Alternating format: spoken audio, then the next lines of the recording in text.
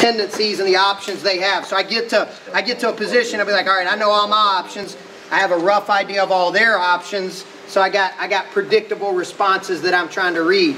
Now, your creativity level is going to play a huge factor in, in how you progress through this. All right, so we're just going to try to open our brains a little bit. So he's going to shoot a single leg. All right. Now, I'm going to get to my single leg spin out position. I'm not going to rake stuff and cover now. All right, I'm going to get back to my single leg spin out position. I'm going to get to that 90 degree position, and then I'm going to look for a leg pass.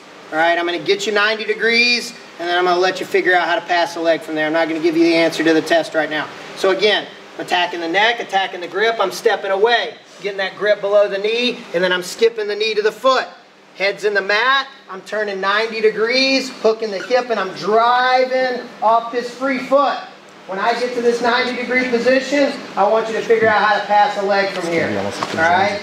You're going to get to this position, and I want you to pass a leg. I'm not going to give you the answer to the test. You guys that have been to this camp before will know what to do. If you don't, figure it out. What's up? Um, whenever you have them in that position, is it possible to grab their ankle that's closest to you and then walking them back?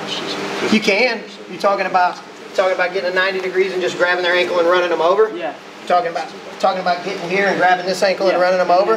The one thing that, that I caution you on, and when we get the far ankle scrambling, which is this is a real good question that opens up, the spin a little bit more, bring your butt around a little bit more. This is what he's talking about, getting to this position and turning and using this ankle to run them over. If any time I get to a position to where I have near ankle and they have far ankle, see how he has to stay on my far ankle? If I have near ankle and he has far ankle and he knows what he's doing, he'll beat me 100% of the time. Because uh, with, with him having far ankle, I can never turn and face him. With me having his near ankle, turn and face me.